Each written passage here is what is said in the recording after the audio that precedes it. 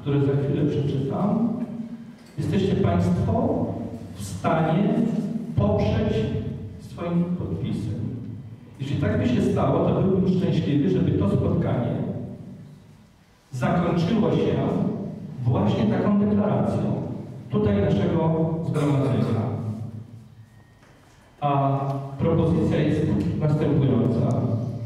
My, niżej podpisani uczestnicy spotkania informacyjnego, którego tematem było przedstawienie postaci wybitnego polskiego architekta profesora Stanisława Marzyńskiego, formułujemy i przedstawiamy następujące stanowisko. Bardzo dziękuję, Panie Przewodniczący.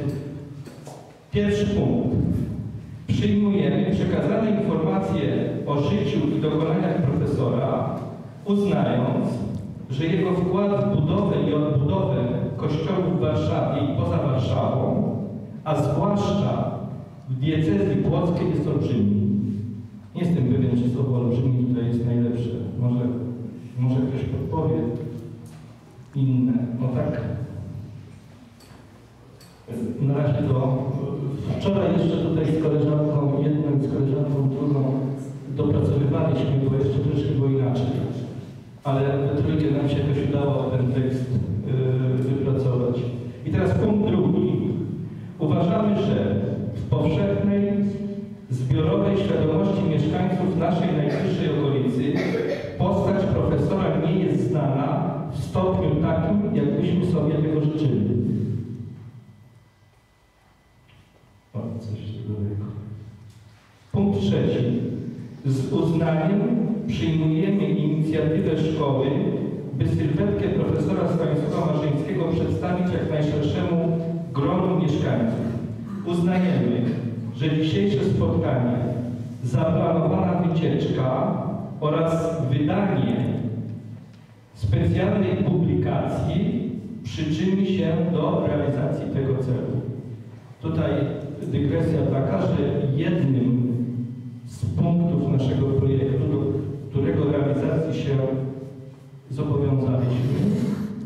jest wydanie broszury informacyjnej o profesorze Marzyńskim w liczbie powiedzmy 500 sztuk z zadaniem rozprowadzenia tej publikacji wśród mieszkańców parafii. Nie tylko oczywiście obwodu naszego szkolnego, ale parafii. I punkt czwarty, taki warunkowy. Udzielimy poparcia, jeśli przyszłości statutowe organy szkoły wystąpią z wnioskiem do Rady Miejskiej w Lublinie o nadanie szkole podstawowej imienia Stanisława Marzyńskiego. Rokotwór dnia 22 maja 2015 roku. I tutaj nazwiska no, państwa tu zgromadzonych. Tu. Sobie pozwoliłem stworzyć listę.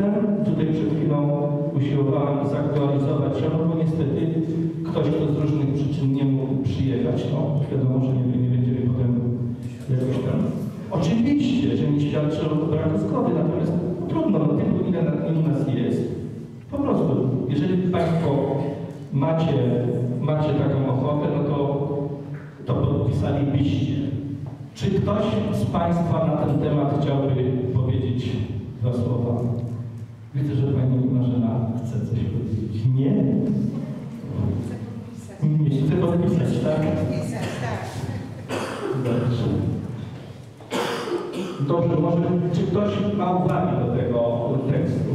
Pani od polskiego, jak to mówię. Tak, no tu dobrze, ale tak, bo, bo tu pewna, no jest, jest pan przewodniczący mówi tak, imienia profesora Stanisława Marzyńskiego. Być może tak, no i nie jestem pewien. Ale to jest oczywiście do, tak, do, do tego, żeby y, przemyśleć.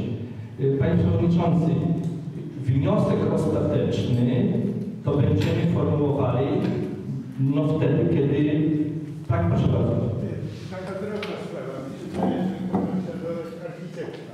To jest. O, Prawda? dobrze.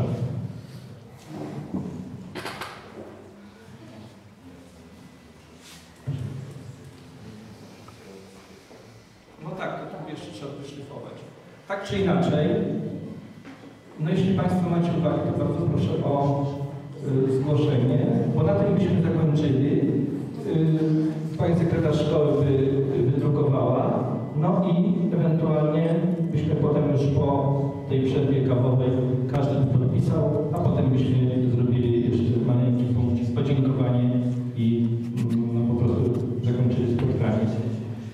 I tutaj jest lista, otwierają pani Monika Buchner, pan Andrzej Buchner, ksiądz Krzysztof Muzal, Marcin Frączak, Agnieszka Bucior. Pani Agnieszka jedzie. Mnie się zdaje, że my nie powinniśmy podpisać. Jesteśmy stronniczy wyraźnie. Nie. No jeśli taka jest, być może tak, ja, ja wcale się nie upieram. Dobrze, myślę, że, że jest do przyjęcia, dobrze. Jeśli, no nie wiem, proszę Państwa, żeby nie było tak, że Wam tutaj wyczytuję listę, a ja nie chcę, a on mnie tutaj na siłę. Bardzo bym chciał, proszę. W takim razie dobrze. Umawiamy się w ten sposób, że zanim to wydrukujemy, to w przerwie kawowej będziemy mogli sobie porozmawiać. Wobec tego ogłaszamy przerwę. Po przerwie y, bym poprosił, żeby z została tylko trójka y, samorządu naszego uczniowskiego, właściwie dwójka, bo jeśli tutaj y, nie ma Weroniki.